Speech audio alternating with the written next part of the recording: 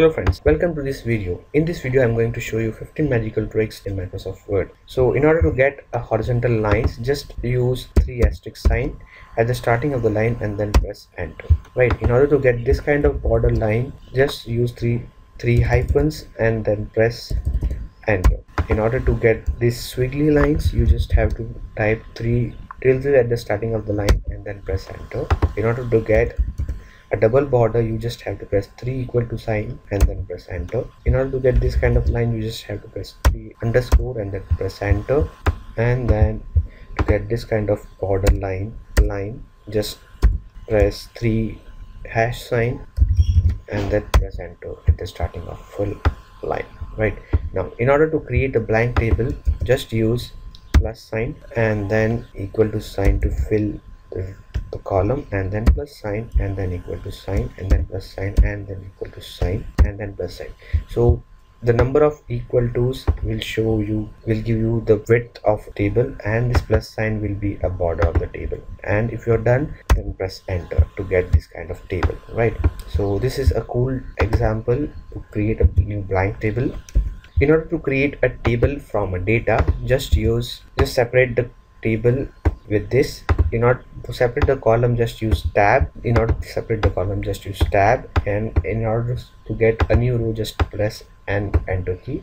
Once you are done you select the complete data then click alt a v x right and then press ok right. So make sure that alt and a is pressed simultaneously and then v and x in quick succession. This comma says that you can leave the previous key and then press the next key right. So just use this kind of formula to get a quick table from a data right? So this was our third example. Fourth example is to create a new row. Just go to the end of the last column in the last row and then press tab to get a new row. So this was the fourth shortcut. And the fifth shortcut is my favorite. Now many times you require to move a row up or down right so what generally people do is they copy the row and then create a new row and then just swap it right? So the whole task is quite difficult. Just you have to select the row that you want to move up or down. Select the entire row and then press alt shift and then up arrow to move the row upward and down arrow to move the row downwards right? So this will automatically move row up and down right? So this is a very cool shortcut. And the sixth shortcut is in order to get an arrows just use double equal to sign and then a less than uh, a greater than sign. And then in order to get this kind of arrow just press less than sign and then two hyphen. And in order to get right side arrow just use hyphen sign and then two hyphen sign and then a greater than sign right? So this was a quick way of getting arrows. Now to get a smiley in microsoft word is quite easy. It is same as you you use in your android phone or ios phone just get type colon and then closing parenthesis to get this kind of smiley and colon and a vertical line a pipe to get this kind of smiley and then colon and opening parenthesis to get this kind of smiley.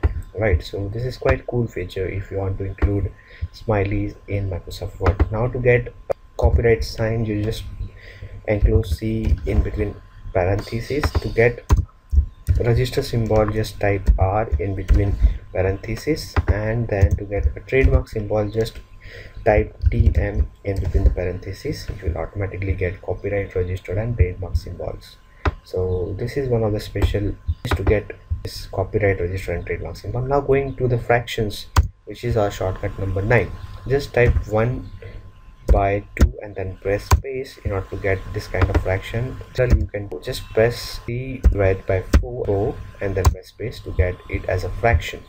Now to get a long dash what you have to do is you have to type double hyphen in between words that you want to join by long dash and then press space. So after pressing space the double hyphen will get automatically converted into long dash this again is my favorite 11 shortcut. Now in order to get a bold and italics what you have to do is you have to go and click on bold and italics in the font section and then and then the gets converted into bold or you can use control i or control b right? But there is one more shortcut that is hidden in microsoft word and that is asterisk for bold. So enclose anything that you want to get in bold inside asterisk. And if you want to have italics so enclose all the italics text in between underscore. Right so the moment i press the closing underscore here so it gets converted into italics and bold but make sure that you have these options checked. So there is special setting that you need to do and it is not enabled by default. So go to the setting just press alt t a in quick succession alt t a and this will open autocorrect option and then in auto formatting you have to make sure that this bold and italic with real formatting is checked and make sure that this is checked and then press press ok to use this kind of formatting or this kind of shortcut. Shortcut is to get a quick bullets right? So in order to get bullets we go in bullets tab and then paragraph tab and then click on the bullets that is required. But you can do it on the fly. Just make sure that there is a new new line and there is empty line above it right? So just make sure that you start in here and to get this kind of bullet just press greater than sign and then tab to have this kind of bullet. And to get a circle you just have to press asterisk and then tab okay? So this is very nice. And to get this kind of bullet just press hyphen and then tab. So this gives you this kind of bullet. I'll just close this symbol so that it is shown clearly.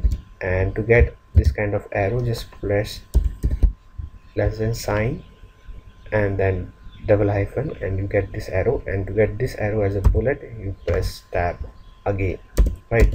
So this was quick bullets. And now going to this 13 shortcut and this i use quite often right? So this shortcut is very easy and it allows you to increase the font size without moving going to the font area. So to use this just select select the words that you want to change the font size and then press control shift and less than key to reduce the font size and greater than key to increase the font size right? So this is how you change the font size without leaving. Right this is how you change the font size in Microsoft Word very easily right 14 shortcut is to get an accent right? There various requests or various suggestion uh, suggestion in my previous video to give the shortcut of different kind of accent right? So in order to have a grave accent what you what you use is press control and then apostrophe sign and then leave it and then type a desired alphabet right? So this is an example of a grave symbol.